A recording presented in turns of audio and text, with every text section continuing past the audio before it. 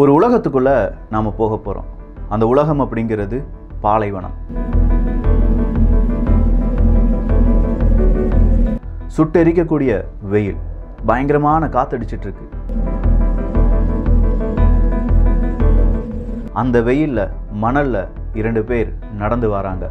ஒரு கணவன் மனைவி மனைவி கையில ஒரு குழந்தை இருக்கு அழகான ஆண் குழந்தை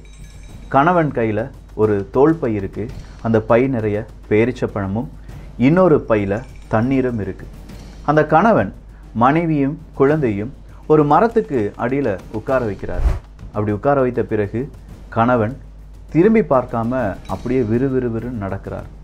மனைவி குழந்தை அழுகுதே குழந்தையை பார்ப்பதா கணவன் எங்கே செல்கிறார் அப்படிங்கிறத புரியாமலே குழந்தையும் கொஞ்சமாக ஆட்டிக்கிட்டே இருக்காங்க கணவன் கண்ணுக்கட்டும் தூரம் வரை அப்படியே போயிட்டே இருக்கும்போது இதுக்கு மேலே கணவன் திரும்ப மாட்டான் அப்படின்னு சொல்லி மனைவிக்கு புரிஞ்சிருச்சு மனைவி கேட்குறாங்க எங்களை விட்டுட்டு எங்கே போகிறீங்க எங்களை விட்டுட்டு எங்கே போகிறீங்க அப்படின்னு சொல்லி கேட்குறாங்க கணவன் திரும்பி பார்க்குறான் கணவனுக்கு இது ஏதோ கட்டளை மாதிரி சொல்லப்பட்டிருக்கு வேறு வழியே இல்லை மனைவியும் குழந்தையும் அந்த மரத்துக்கு கீழே வைக்க வேண்டும் அப்படிங்கிறது அவருக்கு கிடைத்த கட்டளை அந்த கட்டளையின் அடிப்படையில் மனைவியும் குழந்தையும் பிரிந்து சென்ற பிறகு ஒரு மலை கொஞ்சம் இருக்குது அந்த குஞ்சுக்கு கீழே போய் ரொம்ப பெரிய அளவில் பிரார்த்தனை செய்தார் கடவுளே நீ சொன்ன மாதிரி நான் செஞ்சிட்டேன் உனக்கான நபர்களாக அவங்கள நான் இங்கே விட்டுட்டு போகிறேன் அவங்கள பார்த்துக்கோ அப்படின்னு சொல்கிறாங்க இந்த மனைவி கொஞ்சம் கொஞ்சமாக உண்மையை உணர ஆரம்பிக்கிறாங்க கணவன் வரமாட்டார் இது கட்டளையாக கூட இருக்கலாம் ஆனால் குழந்தை அழுகுதே பால் முடிஞ்சிருச்சு தோல் பையில் இருந்த தண்ணீரும் முடிந்து விட்டது தண்ணீரை தேடி அலைய வேண்டும் அந்த குழந்தை அந்த அழுகு குரல் கேட்டுக்கிட்டே அப்படியே கீழே வச்சுட்டு தாய் நடக்கிறாங்க இரண்டு மலைக்குஞ்சுகள் இருக்குது அந்த மலைக்குஞ்சுகளுக்கு போகணும் அந்த மலைக்குஞ்சுகள் மீது ஏறி பார்த்தாதான் அந்த பக்கமாக இருக்கக்கூடிய யாராவது இருக்காங்களா ஏன்னா இது ஒரு பள்ளத்தாக்கு அந்த பள்ளத்தாக்கையும் தாண்டி மனிதர்கள் இருக்காங்களா அப்படிங்கிறத பார்க்க முடியும் ஒரு மலைக்குஞ்சுக்கு போறா அங்கே போய் பார்க்குறா கத்துறா யாராவது இருக்கீங்களா தண்ணீர் தர யாராவது இருக்கீங்களா அப்படின்னு சொல்லி கேட்குறா ஆனால் யாருமே இல்லை மறுபடியும் அவள் போட்டிருக்க ட்ரெஸ் எல்லாம் கொஞ்சமாக தூக்கிட்டு அந்த மணல் வழியாக நடந்து அடுத்த மலைக்குஞ்சுக்கு போகிறாங்க அங்கேயும் போய் மறுபடியும் கேட்குறாங்க யாருமே பதில் சொல்லலை இப்படி ஏழு முறை அந்த பெண் அந்த தாய் மாற்றி மாற்றி மலைக்குஞ்சுகளில் நடக்கிறாங்க திடீர்னு பார்த்தா ஒரு அசரீரி கேட்குது அந்த அசரீரி கேட்ட கொஞ்சம் நேரத்திலேயே குழந்தையினுடைய அழுகுரலும் நிற்கிறது தண்ணீர் தேடி தானே ஓடுனாங்க அந்த குழந்தை ஒரு ஒரு ஊற்று பெருத்து வருவதை பார்க்கிறாள் அந்த தாய்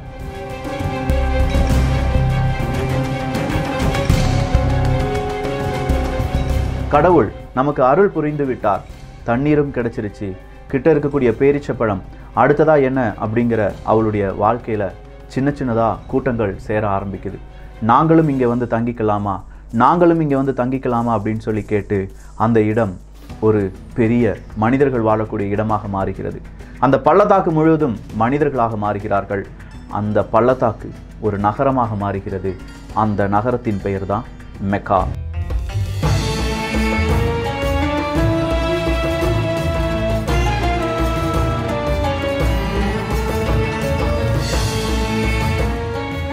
மெக்கா அப்படி இல்லைன்னா மக்கா அப்படின்னு சொல்லக்கூடிய அந்த நகரத்தில் இருந்த அந்த பெண்ணினுடைய பெயர் ஹாஜர் அவங்க வேறு யாருமே இல்லை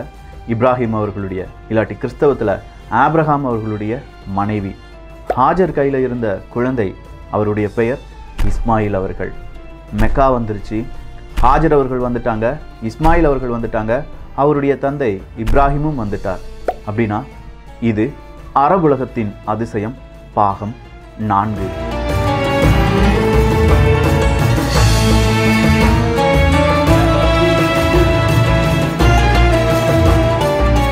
அன்பு தமிழ் நெஞ்சங்களுக்கு தமிழ் பொக்கிஷத்தின் வணக்கங்கள்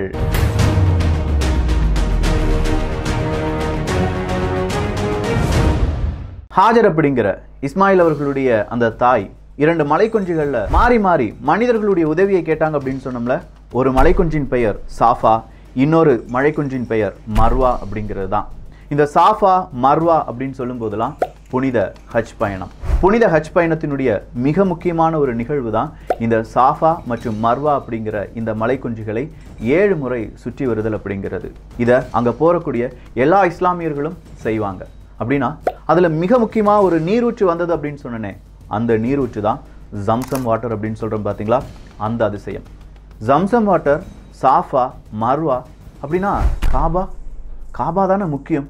அவங்கள அங்கே வைக்கும்போது இல்லாட்டி இப்ராஹிம் அவர்கள் இஸ்மாயிலையும் ஹாஜர் அவர்களையும் அங்கே விடும்போது காபா இல்லாமல் இருந்துச்சு காபானா வேறு எதுவுமே இல்லை நீங்கள் இப்போ மெக்கா அப்படின்னு சொல்லி அடித்தாலும் மக்கா அப்படின்னு சொல்லி அடித்தாலும் புனித ஹஜ் பயணம் அப்படின்னு சொல்லி அழைத்தாலும் ஒரு கருப்பு நிற துணியால் மூடப்பட்டிருக்கும் ஒரு பில்டிங்கை நம்ம பார்க்கலாம் ஆனால் அது ஒரு சாதாரண பில்டிங் கிடையாது அதுதான் இஸ்லாமியர்களுக்காக உருவாக்கப்பட்ட முதல் ஆலயம் அப்படின்னு சொல்லலாம் கடவுளின் ஆசியால் அங்கே உருவாக்கப்பட்ட பூமியில் உருவாக்கப்பட்ட ஆலயம் இதே மாதிரியான ஒரு ஆலயம் சொர்க்கத்தில் இருப்பதாகவும் தினசரி அங்கே எழுபதனாயிரத்துக்கும் அதிகமான ஏஞ்சல்ஸ் தேவதைகள் வந்து போவதாகவும் சொல்லப்படுகிறது இந்த காபா அப்படிங்கிறத ஹாஜர் அவர்கள் இஸ்மாயில் அவர்கள் பார்க்கவே இல்லை ஆனால் நான் கொஞ்சம் நேரத்துக்கு முன்னாடி சொன்னேன் இந்த இப்ராஹிம் அவர்கள் இல்லாட்டி ஆப்ரஹாம் அவர்கள் ஒரு மலைக்குன்றில் போய் அவங்களுடைய மனைவியும் அவங்களுடைய குழந்தையும் விட்ட பிறகு ஒரு மலைக்குன்றின் கீழிருந்து பிரார்த்தித்தார் அப்படின்னு சொல்லி அந்த இடத்துல காபா வந்ததா அப்படின்னு கேட்டால் இல்லை இந்த காபாவினுடைய வரலாறு ஆதாம் ஏவாள் காலத்துக்கு அப்படியே பின்னோக்கி செல்கிறது ஆதாம் ஏவாள் அப்படி இல்லைன்னா இஸ்லாமியர்களை பொறுத்த வரைக்கும் ஆதாம் ஹவா அப்படின்னு சொல்லக்கூடிய இரண்டு பேர் இந்த பூமியில் இறை தூதர்களால் படைக்கப்படுறாங்க ஆதாமும் ஏவாளும் வெவ்வேறு இடங்களில் அனுப்பப்படுறாங்க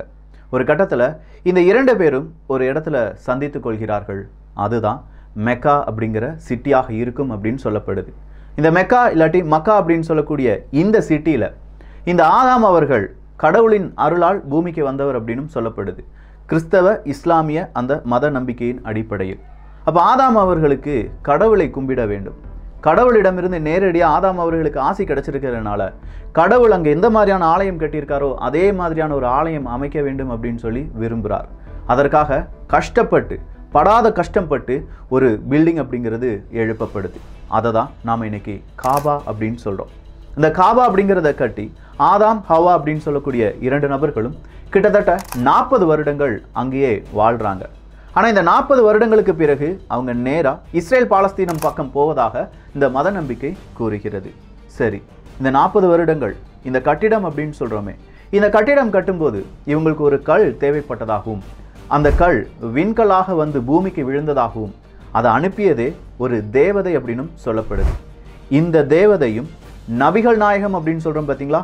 அவருக்கு மிகப்பெரிய அளவில் இறையருள் கொடுத்த தேவதையும் ஒருவர் தானா அப்படிங்கிற ஒரு கேள்வி இப்போ உங்கள் மனசில் வரணும் ஏன்னா இந்த காபா அப்படிங்கிறதுல ஒரு கல் வைக்க வேண்டும் அந்த கல் ரொம்ப வித்தியாசமாக இருக்க வேண்டும் அப்படின்னு நினைக்கும் போது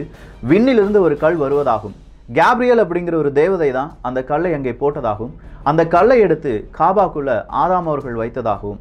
நாளடைவில் பூமியில் ஏற்பட்ட பலவிதமான குற்ற செயல்களால் அந்த கல் கொஞ்சம் கொஞ்சமாக கருப்பு நிறத்தில் மருவியதாகவும் சில பல வரலாறுகள் கூறுகின்றன சரி ஆதாம் ஹவா அப்படிங்கிறவங்க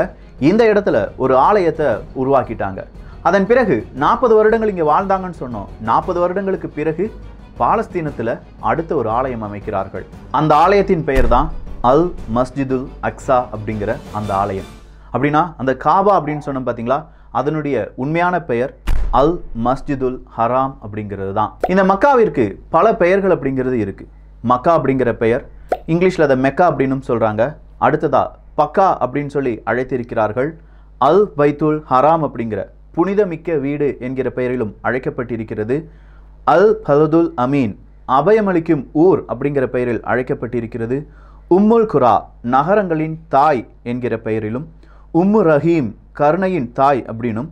அல் மமூன் பாதுகாக்கப்பட்டது அப்படின்னும் அல் காதீஸ் பாவங்களை விட்டும் தூய்மையாக்கக்கூடியது அப்படின்னும் அல் ஃபைத்துல் வாதில் கரியத் இப்படின்னு சொல்லி பல பெயர்களில் அறியப்பட்டிருக்கிறது ஒரு புனித இடம் புனித நகரம் அப்படிங்கிறது நமக்கு தெரியுது அப்போ இந்த புனித நகரத்துக்கு ஒரு எல்லை அப்படிங்கிறது இருக்கணும்ல கிட்டத்தட்ட தொள்ளாயிரத்தி நாற்பத்தி அஞ்சு அடையாளங்கள் இந்த புனித நகரம் எந்த அளவுக்கு எல்லையுடன் இருக்கிறது அப்படிங்கிறதை சொல்வதற்காக இருப்பதாக கூறுகிறார்கள் சரி அங்கே ஹாஜர் அப்படிங்கிறவங்களும் இஸ்மாயில் அப்படிங்கிறவங்களும் நேராக ஆப்ரஹாம் வழியாகத்தான் வந்தாங்க அப்படின்னு சொல்லி பார்த்தோம் இல்லாட்டி இப்ராஹிம் வழியாகத்தான் வந்தாங்க அப்படின்னு சொல்லி பார்த்தோம் இந்த இப்ராஹிம் அவர்களுக்கு அரபி மொழி தெரியுமா அப்படின்னு பார்த்தா இல்லை அவங்களுக்கு தெரிஞ்சது எல்லாமே ஹிப்ரூ தான் அப்போ ஹிப்ரூலேருந்து இவங்க எப்படி அரபு மொழி படித்தார்கள் அந்த இடம் தான் இந்த மெக்கா அப்படிங்கிற நகரம் உருவாதற்கான அடித்தளம் அப்படின்னு சொல்லலாம் ஹாஜர் அவர்கள் மிகப்பெரிய அளவில் இறைவனிடம் மஞ்சாடி எனக்கு தண்ணீர் வேணும் அப்படின்னு சொன்னோன்னே ஜம்சம் வாட்டர் வருது அப்படின்னு சொல்லி நம்ம பார்த்தோம் ஆனால் அதன் பிறகு அங்கே இருவர் மட்டுமே தனியாக வாழ்கிறார்கள் இஸ்மாயிலும் ஹாஜர் அவர்களும் ஒரு கட்டத்தில் நிறைய மனிதர்கள் அந்த வழியாக போகக்கூடிய நபர்கள் இருந்தாங்க அவங்க ஏமன் நாட்டை சார்ந்தவர்கள் ஜுர்கும் குலத்தை சார்ந்தவர்கள் ஏமன் நாட்டை சார்ந்த இந்த ஜுர்கும் குலத்தை சார்ந்தவர்கள் இந்த வழியாக போகும்போது இங்கே தண்ணீரை நம்ம பார்த்ததே இல்லையே புதுசாக எப்படி தண்ணீர் வந்தது அப்படிங்கிற ஒரு பெரிய செய்தி அந்த ஊர் பக்கம் எல்லாமே பரவுது அங்கே இருக்கக்கூடிய இரண்டு மூன்று நபர்கள் நேராக ஹாஜர் அவர்கள்ட்ட வந்து நாங்களும் இங்கே தங்கிக்கலாமா அப்படின்னு சொல்லி கேட்குறாங்க அப்படி தங்கிக் கொள்வதற்கு ஹாஜர் அவர்கள் அனுமதி கொடுக்குறாங்க அனுமதி கொடுக்கும்போது அவங்க சொல்கிற ஒரே ஒரு வார்த்தை இந்த தண்ணீருக்கு யாரும் உரிமை கோரக்கூடாது அப்படிங்கிறது தான் ஏன்னா வற்றாத நீரூற்றாக சம்சம் அப்படிங்கிற அந்த நீரூற்று வந்து கொண்டு இருக்கும்போது அதை யார் வேணாலும் கான்கர் பண்ணிடுவாங்க அப்படிங்கிற பயம் ஹாஜர் அவர்களுக்கு இருந்தது ஆனால் இது தெய்வத்தால் வந்தது அப்படிங்கிறது ஹாஜர் அவர்களுக்கு தெரிந்திருந்தாலும் இது எல்லோருக்கும் பொதுவானது அப்படிங்கிறது அவங்க வர்ற எல்லார்ட்டையுமே சொன்னாங்க நாளடைவில் இந்த இடம் அப்படிங்கிறது என்ன ஆகுது கொஞ்சம் கொஞ்சமாக கொஞ்சம் கொஞ்சமாக நிறைய மனிதர்கள் வாழக்கூடிய ஒரு நகரமாக மாறுகிறது ஆனால் இதுவரையிலும் அங்கே என்ன இல்லை காபா அப்படிங்கிற அந்த ஆலயம் இருந்தது இவங்க யாருக்குமே தெரியாது ஏன்னா இந்த ஆலயத்தை சொல்லிக் கொடுக்க வேண்டியது யார் தான் இறையருள் கொண்ட தூதராக வந்த இப்ராஹிம் அவர்கள் தான் ஸோ இந்த இப்ராஹிம் அவர்களுடைய வாழ்க்கை வரலாறு நம்ம எடுத்து பார்த்தோம்னா கிறிஸ்தவம் இஸ்லாம் யூதர்கள் மற்றும் பஹாய் இப்படி நான்கு மதத்திற்கும் பொதுவான ஒரு நபர் தான் இந்த ஆப்ரஹாம் அப்படிங்கிறவர் இல்லாட்டி இப்ராஹிம் அப்படின்னு சொல்லி இஸ்லாமியர்கள் அழைப்பார்கள் ஆப்ரஹாம் அவர்களுக்கு சொல்லப்போனால் மூன்று மனைவிகள் இருப்பதாக சொல்லப்படுது அதில் இரண்டு மனைவிகளை பற்றி தான் நமக்கு தெரியும் ஒரு மனைவியினுடைய பெயர் சாரா இன்னொரு மனைவியினுடைய பெயர் ஹாஜர் அப்படிங்கிறவங்க தான் இந்த ஹாஜர் மற்றும் இப்ராஹிம் இவங்க இரண்டு பேருக்கும் பிறக்கக்கூடிய மகன் தான் இஸ்மாயில் அதே மாதிரி இந்த இப்ராஹிம் அப்படி இல்லைன்னா அப்ரஹாம் அவர்களுக்கும் சாரா அவர்களுக்கு பிறக்கக்கூடிய மகனுக்கு ஈசாக் அப்படின்னு சொல்லி பெயர் வைக்கிறாங்க இந்த ஈசாக் அவர்களுக்கு இரண்டு புதல்வர்கள் ஒன்று ஏசா இன்னொரு பெயர் யாக்கோப் அப்படிங்கிறது தான் ஸோ இப்படித்தான் இதனுடைய இந்த ஃபேமிலி ஸ்ட்ரக்சர் அப்படிங்கிறத கொண்டு போகலாம் இது கூடவே கேத்தரால் அப்படிங்கிற ஒரு மனைவி இருந்ததாகவும் அந்த மனைவிக்கு பிறந்த குழந்தைகளின் அடிப்படையில் தான் பஹாய் அப்படிங்கிற மதம் வந்ததாகவும் சொல்லப்படுது ஸோ ஆப்ரஹாம் அப்படி இல்லைனா இப்ராஹிம் இப்ராஹிம் அவர்களுடைய மனைவி ஹாஜர் அவர்கள் அவங்களுடைய மகன் இஸ்மாயில் அவர்கள் அவங்கள் சேர்ந்த ஒரு ஏம நாட்டை சேர்ந்த இனக்குழுக்கள் எல்லாருமே ஒன்றா வாழ்கிறாங்க அந்த ஏம நாட்டவர்கள் அரபு மொழி பேசக்கூடிய அந்த குலத்தை சார்ந்தவர்கள் அவர்கள் வழியாக இஸ்மாயில் அவர்களுக்கு அரபு மொழி அப்படிங்கிறது கற்றுக் கொடுக்கப்படுகிறது இந்த இஸ்மாயில் அவர்கள் கொஞ்சம் கொஞ்சமாக வளர்கிறாங்க அப்படி வளரும்போது இந்த ஒரு குழு வந்து சேர்ந்தாங்க அப்படின்னு சொன்னோம் பார்த்தீங்களா அந்த குழுவில் இருக்கக்கூடிய ஒரு பெண்ணையை இஸ்மாயில் அவர்கள் மணந்து கொள்கிறார்கள் அவங்களுடைய தாயார் ஹாஜார் அவர்கள் இறந்துடுறாங்க இறந்த பிறகு மறுபடியும் அப்ரஹாம் அவர்கள் இவங்களை தேடி வராங்க அப்படி இரண்டு முறை தேடி வந்த பிறகு மூன்றாவது முறையாக தேடி வருகிறார் அப்படி தேடி வரும்போது தான் இஸ்மாயில் அவர்கள்ட்ட அப்ரஹாம் அவர்கள் இப்ராஹிம் அவர்கள் ஒரு விஷயத்த சொல்கிறாங்க இந்த இடத்துல ஒரு காபா நாம் உருவாக்கணும் ஆல்ரெடி இந்த இடத்துல காபா இருந்தது தான் ஆனால் அழிந்து விட்டது பலவிதமான இயற்கை பேரிடரால் அழிந்து விட்டது எனவே அதை கொஞ்சம் உயரமாக நாம் கட்ட வேண்டும் எனக்கு நீ உதவியா மகனே அப்படின்னு சொல்லி கேட்குறாங்க இப்ராஹிம் அவர்கள் கேட்டதுக்கு இணங்க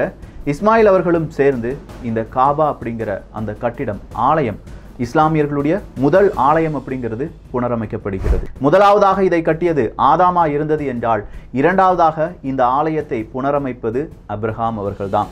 இஸ்மாயில் அவர்கள் கற்களை கொண்டு வர கொண்டு வர இந்த அப்ரஹாம் அவர்கள் இல்லாட்டி இப்ராஹிம் அவர்கள் தான் என்ன செய்வாங்களாம் இந்த ஆலயத்தை அப்படியே கட்டி வந்துட்டு இருந்திருக்காங்க அதை கொஞ்சம் உயரமாலாம் கட்டியிருக்காங்க அப்படிங்கிறதையும் நம்ம பார்த்தோம் காலங்கள் கடக்கின்றன இனக்குழுக்கள் இன்னும் பல இனக்குழுக்களாக மாறுகிறார்கள் நிறைய பேர் வந்து இந்த காபாவை சுற்றி சுற்றி சுற்றி என்ன செய்கிறாங்க அவங்களுடைய வேலைகள் அவங்களுடைய வியாபாரம் இதெல்லாம் செய்ய ஆரம்பிக்கிறாங்க அப்படி செய்ய ஆரம்பிக்கும் போது பல நாடுகள் பல கண்டங்களை தாண்டிய மனிதர்களும் இந்த வழியாலாம் வராங்க ஆனால் அந்த இடத்துல மறுபடியும் போட்டியும் பொறாமையும் மிகப்பெரிய அளவில் சிலை வழிபாடுகளும் வர ஆரம்பிக்குது இந்த சிலை வழிபாட்டுக்கு காரணமாக இருந்த ஒரு நபர் ஏன்னா இந்த ஊர்லயே எல்லாருமே இந்த காபா அப்படிங்கிற ஆலயத்தை மட்டுமே தொழுதுட்டு வந்துட்டு இருக்கும்போது இந்த ஊர்ல இருந்து வெளியூருக்கு போய் ஏதாவது நம்ம சாதிக்கலாம் இல்லாட்டி சம்பாதிக்கலாம் அப்படின்னு சொல்லி ஒரு மனுஷன் என்ன செய்கிறாரு வேறு இடங்களுக்கு போகிறார் அப்படி வேறு இடங்களுக்கு போகும்போது அங்கே சிலை வழிபாடுகளும் பெரிய பெரிய ஆர்கிடெக்சர் இருக்கிறதெல்லாம் பார்க்கிறார் அப்படி பார்க்கக்கூடிய அந்த மனிதனுடைய பெயர் அம்ருபின் லுகை அல் குசாயி அப்படிங்கிறவர் தான் இந்த அல் குசாயி அப்படிங்கிறவர் அங்க இருக்கக்கூடிய சிலையெல்லாம் பார்த்த பிறகு எங்க ஊருக்கும் ஒரு சிலை வேணும் அப்படின்னு சொல்லி அவர் செஞ்ச வியாபாரத்து கூடவே ஒரு சிலையும் வாங்கிட்டு வராரு இந்த மெக்கா அப்படிங்கிற புனித பூமிக்குள் அங்க ஒரு சிலை நிறுவப்படுது இதுதான் உன்னுடைய கடவுள் அப்படின்னு சொல்றார் அல் குசாயி அவர்கள் அங்க இருக்கக்கூடிய நபர்கள் அந்த சிலையை வழிபட ஆரம்பிக்கிறாங்க ஒரு சிலை இரண்டாக மாறியது இரண்டு பத்தாக மாறியது பத்து நூறாக மாறியது ஒரு கட்டத்தில் மெக்கா அப்படிங்கிற இந்த புனித பூமிக்குள்ள முன்னூற்றி அறுபதுக்கும் அதிகமான சிலைகளும் சிலை வழிபாடுகளும் இருந்தன ஆனால் ஒரே தெய்வம் அப்படின்னு சொன்ன அந்த இஸ்லாம் மதத்துக்கு என்ன ஆனது அந்த இஸ்லாம் மதம் அப்படி இல்லைன்னா இஸ்லாம் மார்க்கம் அப்படின்னு சொல்கிறோம் பாருங்க அது மெக்கா அப்படிங்கிற அந்த புனித பூமியிலிருந்து அடுத்ததாக எப்படி துளிர் விட்டது இதில் மெக்காவை மட்டுமே பார்த்துட்டு இருக்கோமே மதினா அப்படிங்கிற ஒரு இடத்த சொல்கிறாங்களே மதினானா என்ன மதினால இதே மாதிரியான ஒரு புனித ஆலயம் இருக்குன்னு சொல்றாங்களே அது ஏன் உருவாக்கப்பட்டது இந்த காபா அப்படிங்கிற இந்த ஆலயம் பல நபர்களாலும் தகர்க்கப்பட்டது சில நேரங்களில் அது மறுபடியும் புனரமைக்கப்பட்டது அப்படின்னு சொல்றாங்களே அதனுடைய உண்மைத்தன்மை என்ன இந்த காபாவை சுற்றி எப்போதுமே ஒரு கருப்பு நிற துணி அப்படிங்கிறத போட்டிருக்காங்களே அந்த துணியினுடைய வரலாறு என்ன இந்த காபா ஜம்சம் இன்னும் பல மர்மங்களும் உண்மைகளும் இந்த பதிவில் உங்கள் முன்னாடி காண்பிக்கப்பட போகிறது இது மதம் சார்ந்தோ மார்க்கம் சார்ந்தோ இல்லை ஒரு பர்டிகுலர் இவங்களுக்கானது மட்டுமா அப்படின்னு சொல்லி பார்க்காமல் இதை வரலாறாகவும் இதுக்கு பின்னாடி இந்த புனித ஹஜ் பயணம் அப்படின்னு சொல்கிறோம் பார்த்தீங்களா அதுக்கு பின்னாடி இருக்கக்கூடிய வரலாறாகவும் நாம் பார்க்கலாம் இந்த பாகம் எப்படி இருந்தது அப்படிங்கிற உங்களுடைய கருத்துக்களும் அதே மாதிரி நான் சொல்கிற அந்த ப்ரொனவுன்சேஷனில் சின்ன சின்ன வித்தியாசங்கள் வரலாம் அப்படி இருந்தால் அதற்கான மன்னிப்பையும் கோரிக்கொள்கிறேன் நல்லதை பகிர்ந்து நல்ல சமுதாயத்தை உருவாக்குவோம் நன்றி வணக்கம்